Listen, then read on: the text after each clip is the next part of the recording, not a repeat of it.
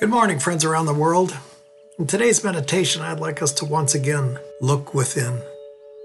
I'd like us to ask ourselves these questions. The four kinds of people Ed speaks of in his story, which one am I? Also, meditate on the question if I'm not happy with who I am in this story, what do I need to do to change?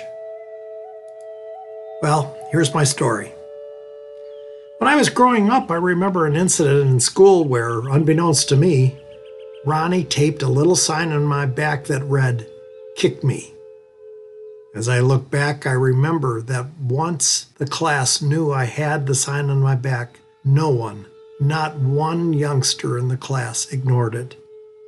This little piece of paper drew several different responses from my classmates.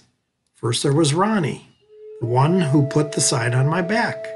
Then there were those who decided to blindly obey Ronnie's instructions, so they kicked me. Others sat back laughing while they watched those who kicked me. Then there was one classmate who came up to me.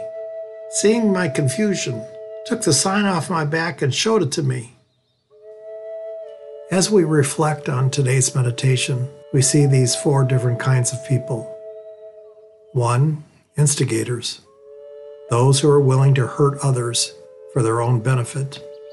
Two, blind followers, those who are willing to mindlessly follow the crowd. Three, observers, those who are willing to do nothing when they observe a wrong. Four, seekers of justice, those who are willing to speak out against a wrong. Of the four kinds of people Ed speaks of in his story, which one am I? Also, meditate on this question.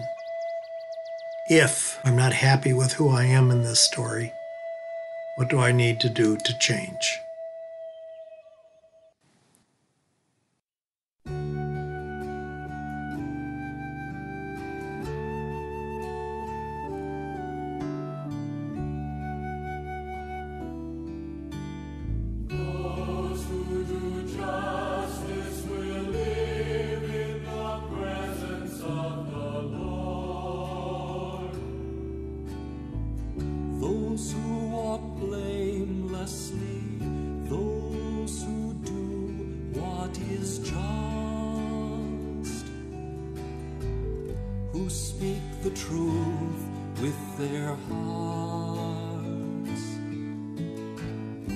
And slander not with their words.